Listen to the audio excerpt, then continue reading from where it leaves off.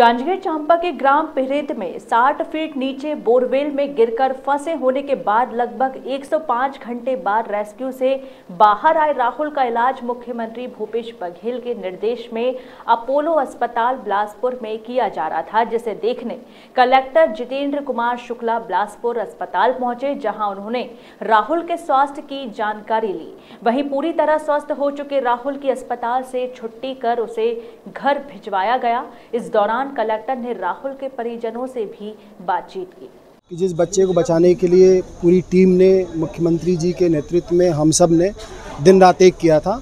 आज वो बच्चा सकुशल अपोलो हॉस्पिटल से वापस लौट रहा है।